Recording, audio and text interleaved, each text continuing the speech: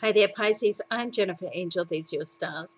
Now, your annual new moon is in your sign this week, so right on the Monday, the 11th. So, this is a great time for you because it's it's like all the activity that's been going on over the last couple of weeks. We had, like, the week before last was a little bit unsettling and things coming to a head. Last week, hopefully, they smoothed out a little bit.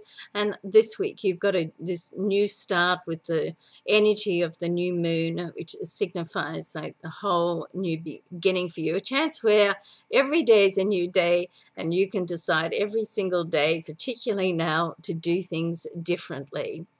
Okay, now you also have Venus in your sign at the moment, so if you're looking for love, it's one of the periods where love can actually cross your path.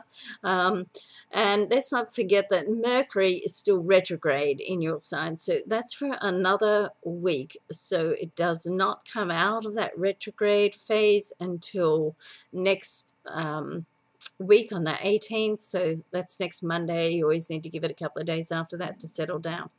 Now, Mars has also been in your sign, which has probably made you feel a little bit sort of frantic to get things done and uh, be able to uh, stay, stay on a time schedule and be productive. Now, Mars is going to ingress the next sign, which is Aries, and it's very, very comfortable in this position because it's, it's Aries ruler for you, it's going to move into your solar second house, which is more to do with um, uh, money and possessions. So you want to be a little bit careful. It's there for five weeks, right through to the 14th of April. You want to be a little bit careful of getting involved with, let's say, get rich quick schemes. So um, it can tempt you in this position to be a bit of a gambler and take risks.